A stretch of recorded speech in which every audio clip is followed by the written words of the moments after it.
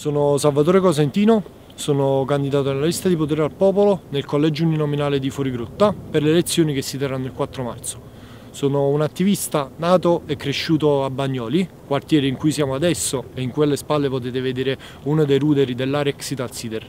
Nato e cresciuto su due questioni principali. La prima, quella legata all'ambiente, un ambiente e una salute negata, un ambiente negato tramite la mancata bonifica di una delle più vaste aree ex industriali disponibili eh, in Europa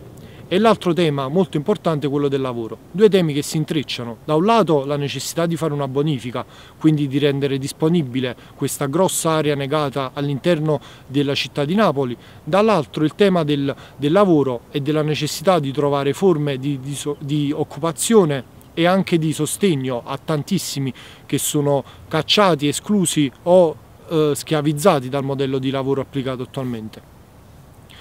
Modello che costringe numerosi di noi anche ad emigrare, a fuggire da queste zone per trovare delle situazioni migliori.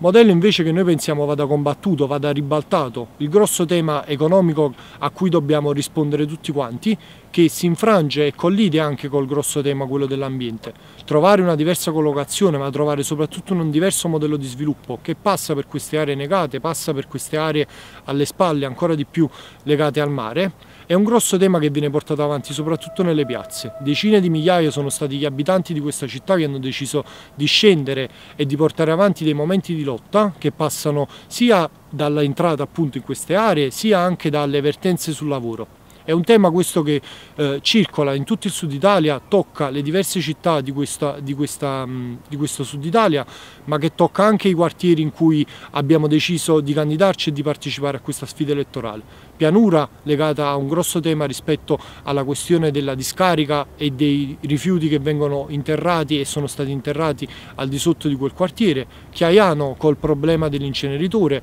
e il grosso tema delle periferie legato anche a Soccavo